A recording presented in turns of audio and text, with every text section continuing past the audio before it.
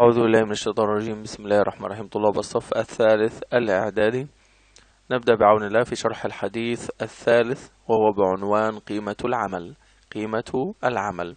عن المقدام بن معدي كرب رضي الله عنه عن رسول الله صلى الله عليه وسلم قال ما أكل أحد طعاما قط خيرا من أن يأكل من عمل يده وإن نبي الله داود كان يأكل من عمل يده. أتي إلى التعريف براوي الحديث. هو المقدام ابن معدي كرب ابن عمر ابن يزيد أبو يحيى الكندي. نزيل حمص. روى أربعين حديثا. مات سنة سبع وثمانين هجريا عن واحد وتسعين عاما. أتي إلى معاني المفردات. ما معنى ما أكل أحد؟ ما أكل أحد أحد أي من بني آدم؟ ما أكل أحد أي من بني آدم. سهلة. خيرا من أن يأكل من عمل يده. ما معنى من عمل يده؟ أي من كسبه وتعبه. من عمل يده أي من كسبه وتعبه. ما أكل أحد طعاما قط. ما أكل أحد طعاما قط. ما معنى قط؟ المراد به في أي وقت من الأوقات الماضية. قولوا ما أكلت العسل مثلا قط ما لعبت السلة قط أي أبدا في أي وقت من الأوقات الماضية.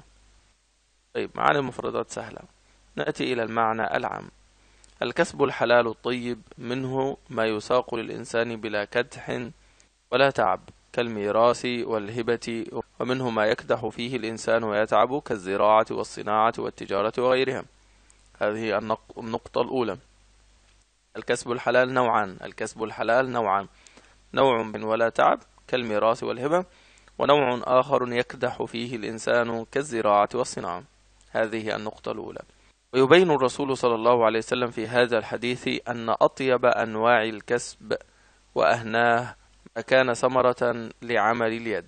يعني الرسول صلى الله عليه وسلم يبين أن أطيب أنواع الكسب على الإطلاق هي ما كان أي ما كان هذا الكسب ثمرة لعمل اليد فالذي يعمل بيده يعمل بيده ويأكل من عرق جبينه خير من الذي يأكل من كسب لم يكد فيه ولم يتعب.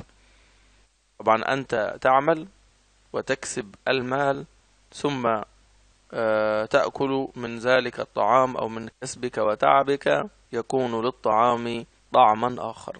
أما أن يعطيك أحد الطعام فهذا لا يرضاه إلا من دنت نفسه. أعوذ بالله. وقد ضرب صلى الله عليه وسلم المثل الطيب بنبي الله داود الذي لم يستنكف عن العمل في الدروع التي كان يصنعها من الحديد. طبعا سيدنا داود كان ملكا ومع ذلك كان يعمل بيده ويصنع الدروع كما جاء في القرآن الكريم. ولقد آتينا داود منا فضلا يا جبال أوبي معه والطير وألنا له الحديد. طبعا ترك العمل وقلة الإنتاج يؤديان إلى البطالة والإسلام يدعو للعمل ويحارب الإسلام الخمول والكسل. طبعا ما يرشد إلى الحديث سهل يقرأ. والأسئلة؟